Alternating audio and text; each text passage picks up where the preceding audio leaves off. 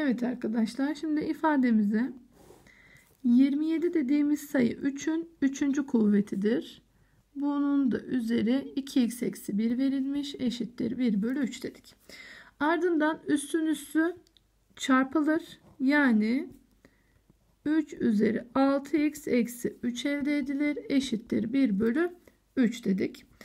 Ee, karekök demek kuvvette 1 bölü 2 demektir. Yani 3 üzeri 6x eksi 3 üzeri 1 bölü 2 eşittir 1 bölü 3'tür.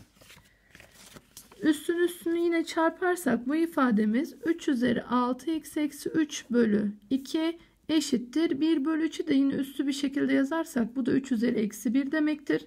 Denklemde tabanlar eşit olduğu için kuvvetler de eşit olacak. Yani 6x eksi 3 bölü 2 eşittir eksi 1. Burada içler dışlar çarpımı yaparsak 6x eksi 3 eşittir eksi 2. 6x ifademiz 1'e eşitse x de buradan 1 bölü 6 bulunur.